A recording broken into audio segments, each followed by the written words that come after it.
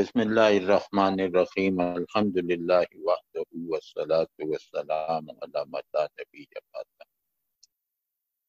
हमारे यहाँ अखलाक की जो उसूली तारीफ़ है,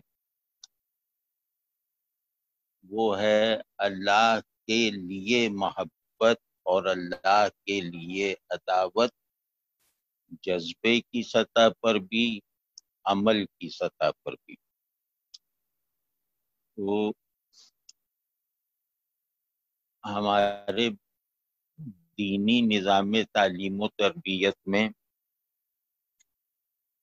बाज़ इसबाब की वजह से भी और जदीद दुनिया के ने जो माहौल पैदा कर रखा है, जो मकासद हयात तय कर रखे हैं उनके दबाव की वजह से भी। हम दीन की अखलाकी तासीर का मजहर बनने में बड़ी हद तक नाकाम है। तो उसमें एक और सबब भी है कि हमारी शख्सियत को अंदर अंदर तामीर करने वाली जो कुतें और जो महरक़ात हैं वो दीन से मुतासर होने की हालत में नहीं है। यानी आदमी की शख्सियत की तामीर का अमल उसके चाहने ना चा, ना चाहने से कत नज़र बल्कि ये कि उसके इख्तियार से भी मावरा होकर जारी रहता है। मेरे अच्छे बुरे होने जारी रहता है, जैसे नफ्सियात की इस्तेलाह में लाशूरी सतह पर भी और तहत शूर में भी। मैं बनने और बिगड़ने के अमल में रहता हूँ। तो वो अमल उस इस यानी अपनी तामीर तकरीब के अमल का जो ओरिजिन है।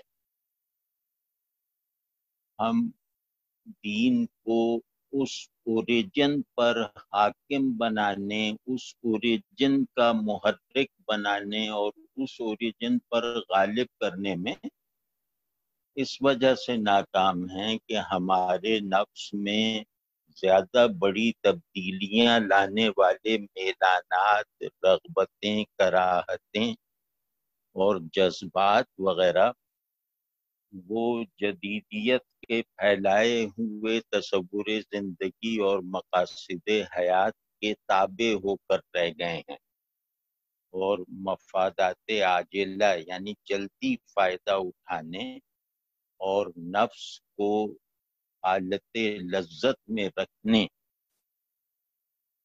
के लिए जो फौरी हमें सामान दरकार होता है, हमारे मेलान का पूरा निज़ाम हमारे मेलानात की पूरी हद उन सरसरी चीज़ों तक जाकर रुक ख़त्म हो जाती है, जो नफ्स में लज्जत, फरहत और राहत, आसाइश के ऐसे अहवाल उसमें दाखिल किए रखते हैं, जिनकी बनावट ही ऐसी है कि वो मेरे निज़ाम एहसास को, मेरी रगबत, कराहत को, दीन और खुश, दीन यानी अल्लाह से ताल्लुक में मतलब रुकावट बन जाती है। मतलब मेरे जज्बात एहसास की बनावट ही ऐसी नहीं रह गई, जो अल्लाह से मोहब्बत करने या अल्लाह से डरने में काम आए।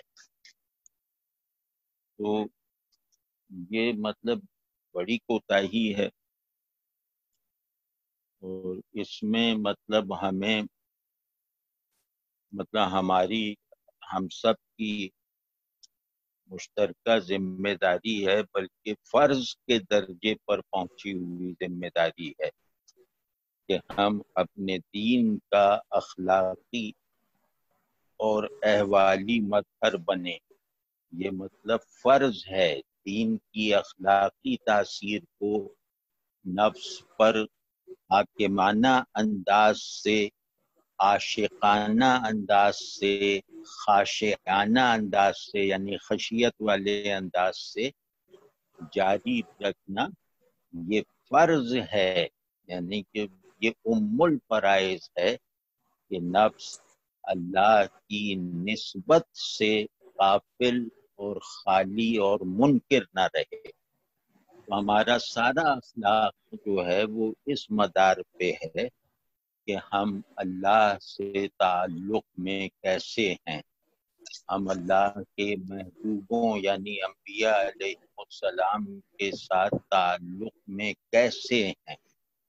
हम अल्लाह के कलाम से ताल्लुक में और उसकी तासीर कबूल करने में कैसे हैं?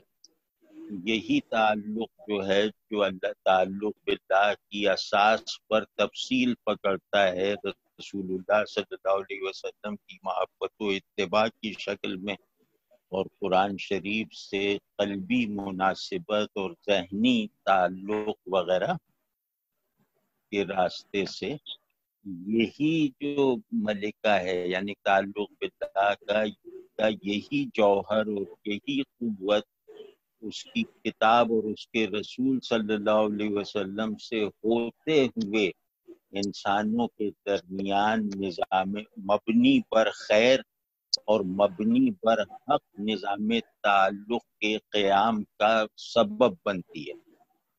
तो मतलब का सादा फौरी मतलब ये है कि दूसरों के साथ खैर का रवैया रखना।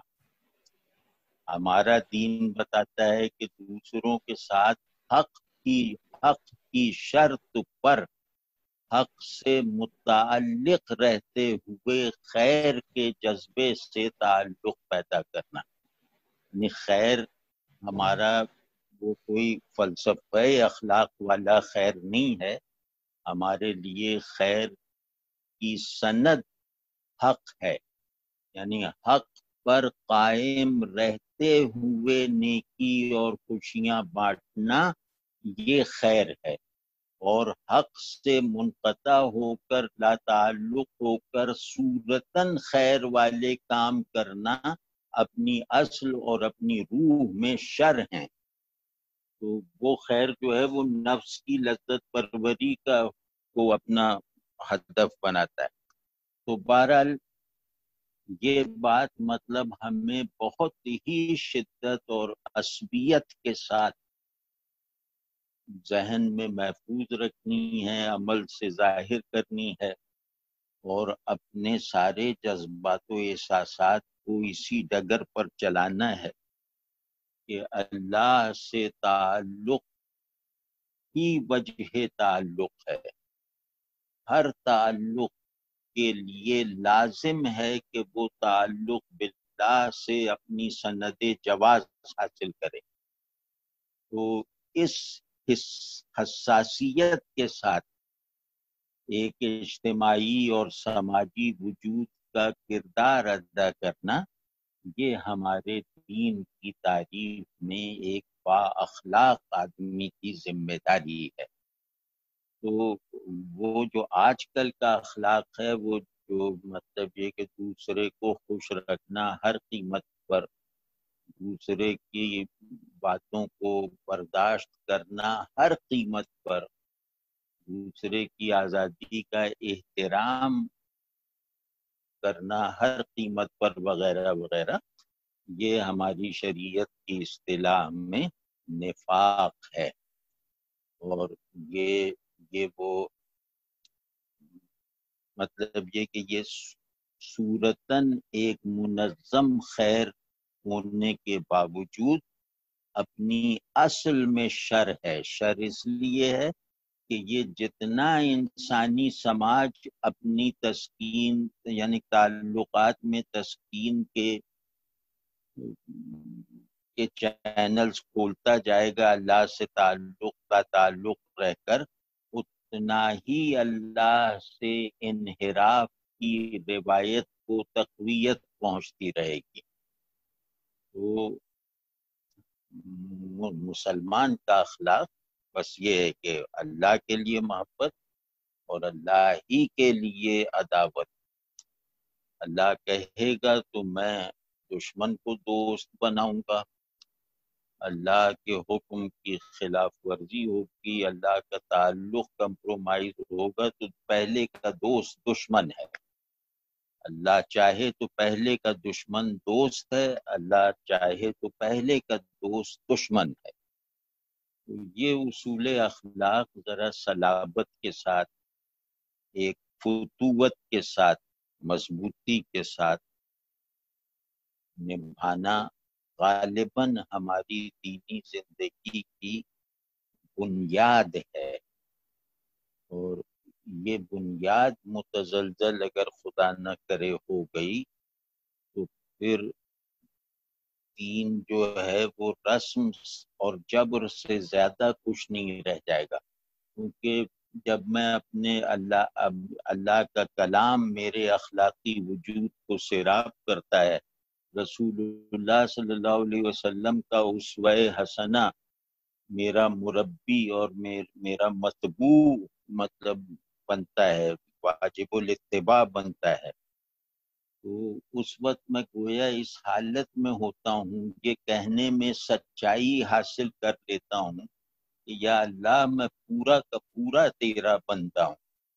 या अल्लाह मेरे नफ्स की की इंतहाई मावराए शूर इख्तियार गहराइयों में भी मेरे, में, मेरे इस अज़म की वजह से तेरे ज़िक्र का गलबा है, तेरी मोहब्बत की हुकूमत है, तेरी खशियत की हाकिमियत है। तो ये जो है मतलब ये करने का काम है, बहुत ज़्यादा करने का काम है। इसके लिए जो है वो दो तीन चीज़ें हैं। वो मतलब ऐसे ही जैसे तदबीर के तौर पे अर्ज़ कर रहा हूँ। ताकि ज़रा हम जल्दी इस मकसूद की तरफ़ चलने का अमल इख्तियार कर लें।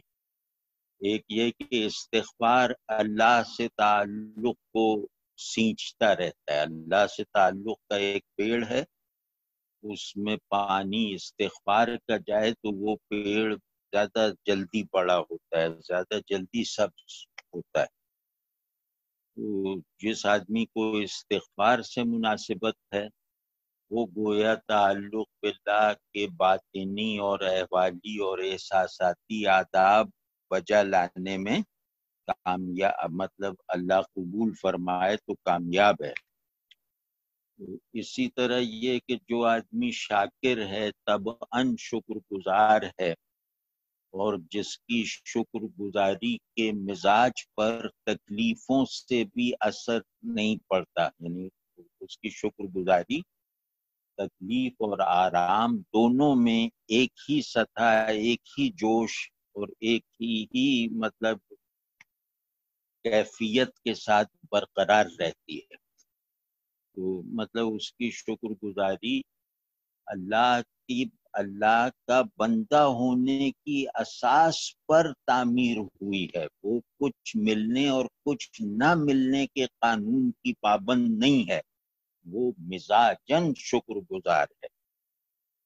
तो जो जिसके अंदर शुक्र से मुनासिबत होती है, वो अच्छा समाजी वजूद बनने में कामयाब होता है। यानी समाजी अखलाक इंसानों के दरमियान हक और खैर के उसूल पर चलने वाला निज़ाम ताल्लुक उन लोगों की बुनियाद पर चलता है, जो तब अन और मिजाजन अल्लाह के शाकिर बंदे होते हैं।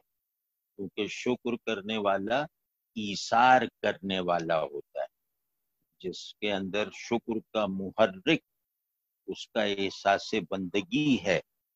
वो और वो कुछ चीज़ों के आने और जाने से न घटता है, न बढ़ता है। तो वो आदमी मतलब साहिब ईसार होता है।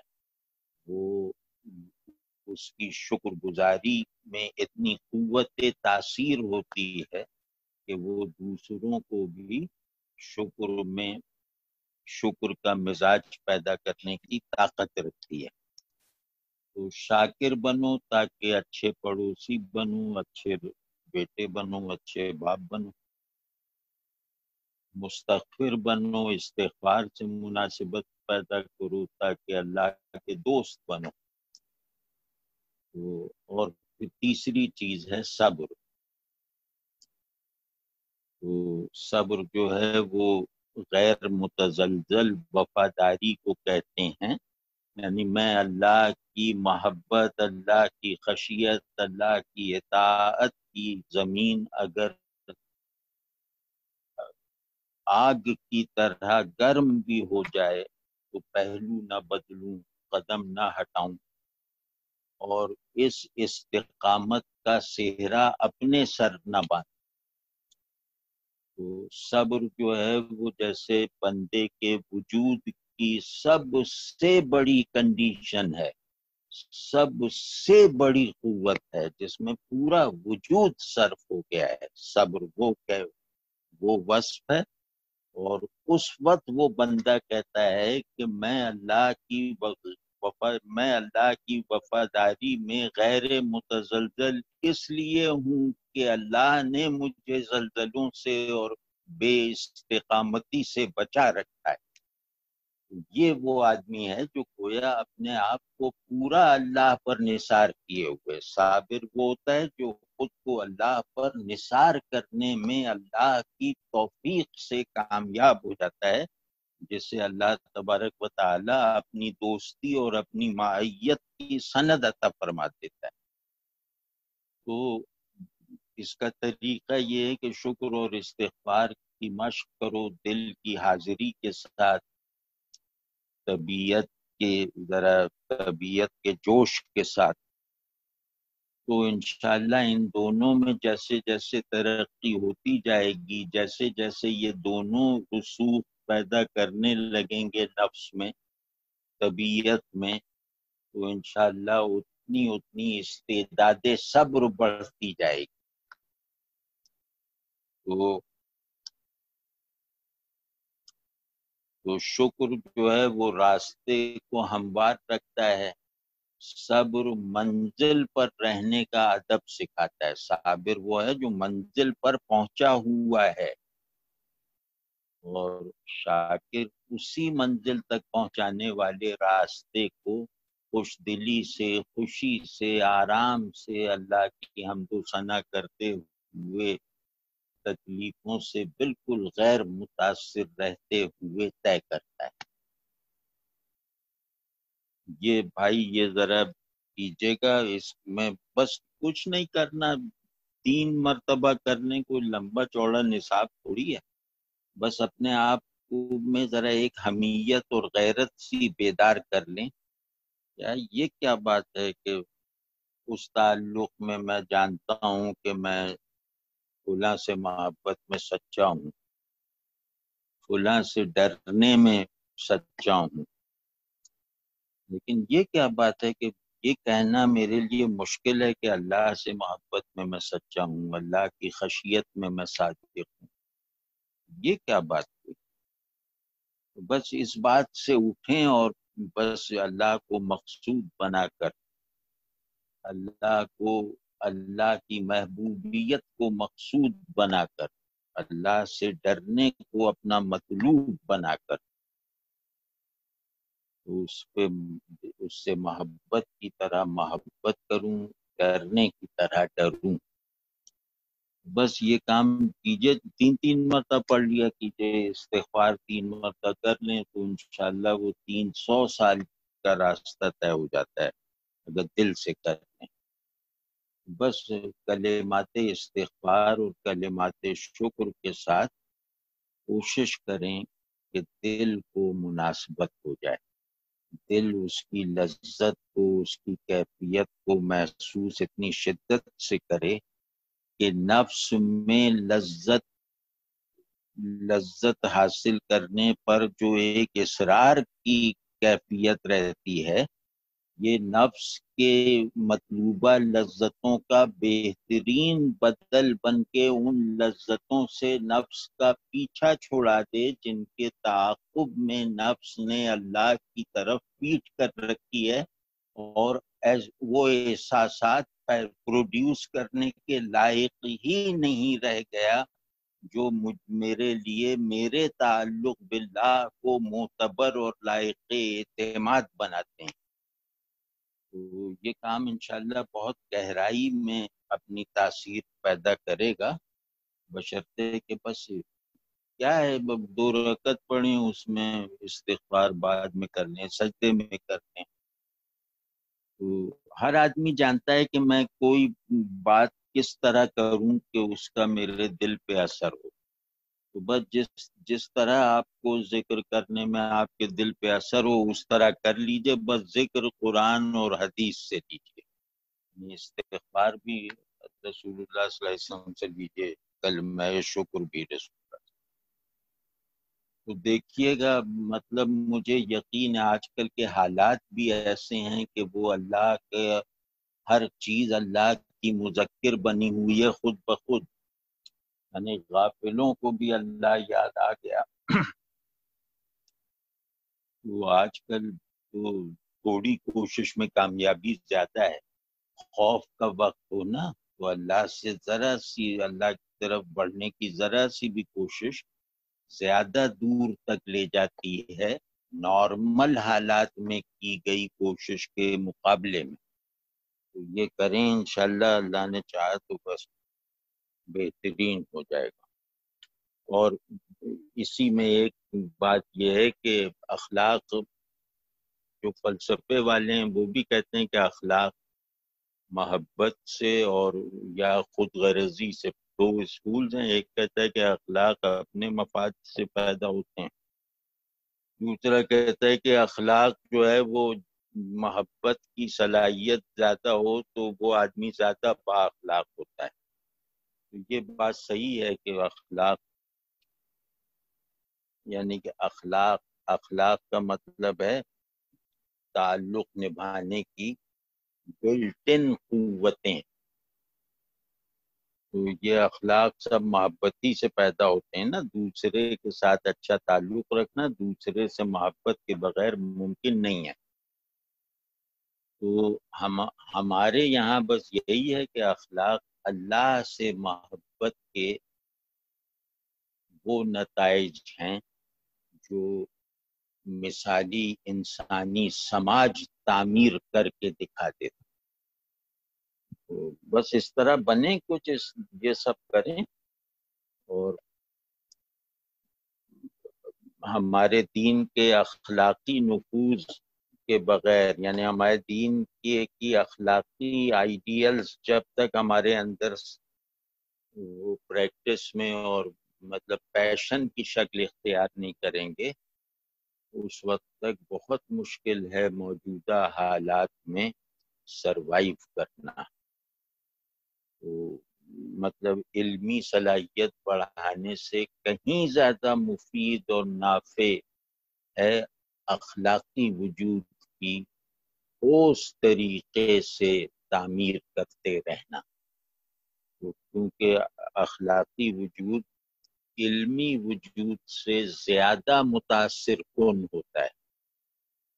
तो ये कर, ये इसमें तो किसी के पास कोई उजर ही नहीं है कि वो अखलाक के जिस मुंतहा तक चाहे पहुँच जाए खा वो पढ़ा लिखा भी ना हो। तो बस इस इस रहमत आम से फ़ायदा उठाना चाहिए। और अपनी उस फितरत को बहाल करना चाहिए, जो अल्लाह से दूरी में मुरझा जाती है, अल्लाह के कुर्ब में खिली रहती है। तो बस उस फितरत को जरा सा उस पर थोड़ी बहुत गर्द पड़ी हुई है, उससे झाड़ देना चाहिए। शुक्र के कलमे से इस्तेफार के कलमे से। और जैसे ये आज जो ज़िक्र बताया है, जो हदीस पढ़ी गई है, उस पर मुदावमत कर लेने से। ये जैसे लहुल मुल्क का मतलब है कि आफाक भी पर अल्लाह की हुकूमत है। और लहुल हमद का एक मतलब है कि अनफुस पर भी वो हाकिम है। आफाक पर उसकी हुकूमत है जबर के तौर पर, कानून। अनफुस पर वो हाकिम है, साहिब, यानी साहिब नफ्स के इख्तियार को सल्ब किए बगैर। तो देख लो हम करोगे तो गोया नफ्स की साख्त बदल जाएगी। हमद में गालिब चीज़ है, शुक्र। हम के मानी ये असली शुक्र हैं और फिर उस मानी की एक फरा सना है, तारीफ़। शुक्र से अल्लाह की मोहब्बत में सरशारी, शुक्र से पैदा होने वाली आशिकाना सरशारी के साथ ज़ाहिर है कि आदमी अल्लाह की तारीफ़ ही करेगा ना। तो इसको भाई बस करें और अल्लाह तोफीक से मुझे भी, आपको भी। अब बहरहाल देर ना कर। बस ये बात कहनी थी जनाब।